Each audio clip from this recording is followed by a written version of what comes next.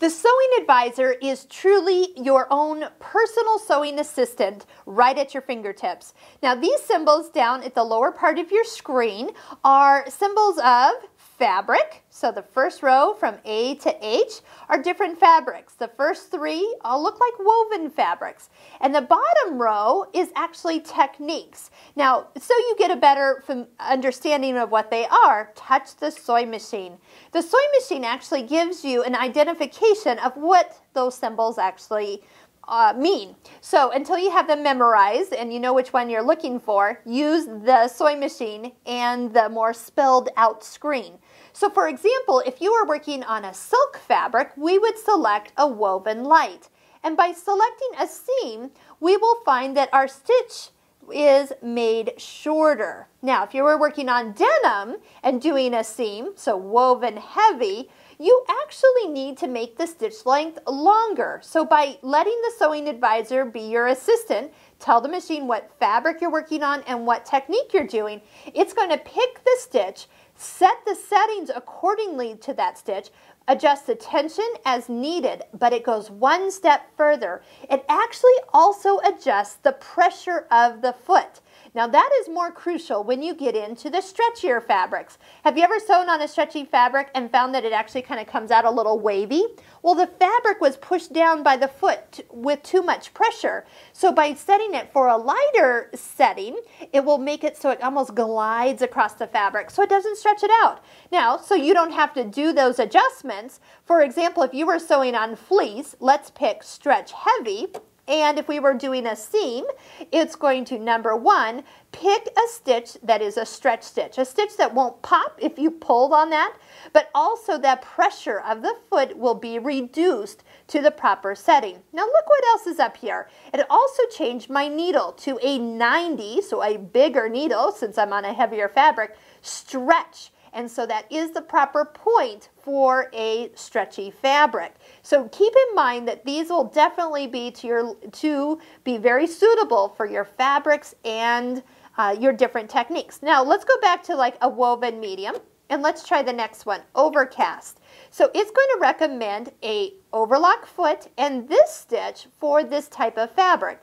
As I pick different fabrics, this stitch and sometimes the foot will change. So as we pick for different uh, fabric thicknesses and different stretchiness that you can kind of see that stitch is getting longer or wider depending on which one I have. So let's go back to woven medium and a seam and an overcast. This will be a stitch where it will overcast the edge plus make a seam. And this is great if you don't have a serger or if you're just doing a short distance and don't need to rethread your serger. For example, if it's got black thread on, you don't want to have to take the time.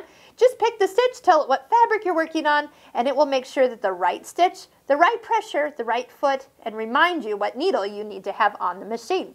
Uh, you have a technique of a basting stitch. That's a really long stitch, but also look, the tension is reduced. So a basting stitch is meant to be pulled out. So as you stitch, you can go ahead and stitch with confidence that one of those threads is going to be really easy to pull. Just don't do a back stitch. It'll be really easy to remove.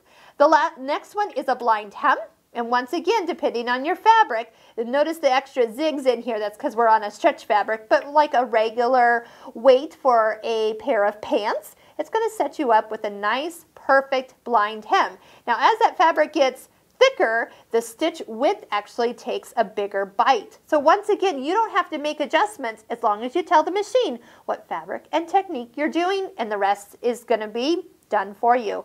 A hem, so this is a great way, well, hem on a woven fabric straight stitch, but some of these other stitches will be more suited for the correct fabric. Buttonholes, you know, there's a ton of buttonholes in this machine, and depending on what fabric you choose, for example, I picked, we're on stretch medium, so stretchy fabric, there is actually a little extra picture showing here because it is recommended that we cord this buttonhole. That will give it stability. If I was to pick just a regular weight of fabric, it's going to recommend the foot, no extra corded buttonhole needed, and it'll be ready to stitch. So different uh, buttonholes for different fabrics. No guessing on your part.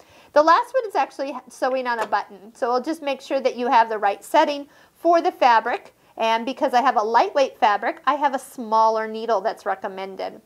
Now, two other fabrics that we have down here. Let me just go back to a regular seam. And the next one is leather.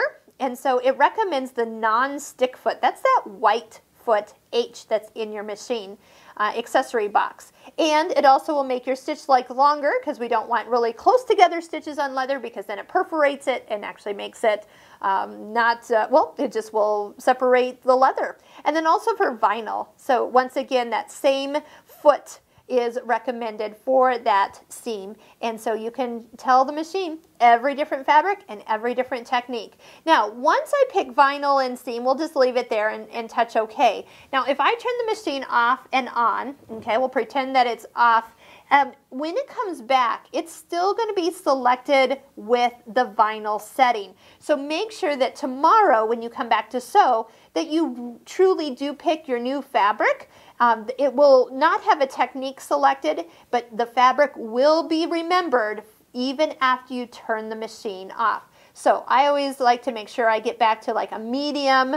B is that good, I don't know what I'm going to be sewing on, but that's a great place to leave it when you're unsure of your next fabric. So enjoy your sewing advisor. Uh, there isn't a sewing advisor in the embroidery mode and it has some great features because it's going to tell you like what stabilizers to use. So I know this was a little long, but you definitely want to use this to your benefit. It is wonderful.